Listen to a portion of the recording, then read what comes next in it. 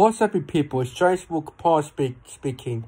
Maldon Tiptree are home to Tilbury FC in their first pre, in their first league game league game in the Bostik League Division One North at home.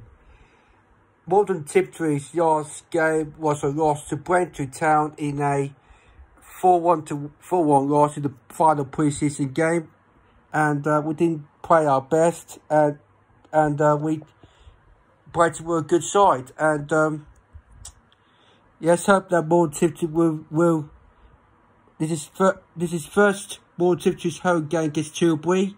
And we signed some new players for yesterday, which are really good. Someone came with Lewis, someone came upper teams like Hyde some are lower. And and uh, looking forward to today's game. It's going to be a hot one today, so I'm going to bring some drinking water with me and a hat with me as well. And my score predictions for today's game is going to be a 3-1 win to Maldon Tiptree.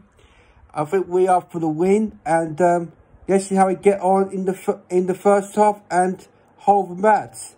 And I'll be walking down to the ground. And I'm going to do some more video where I get down to the mats. See ya.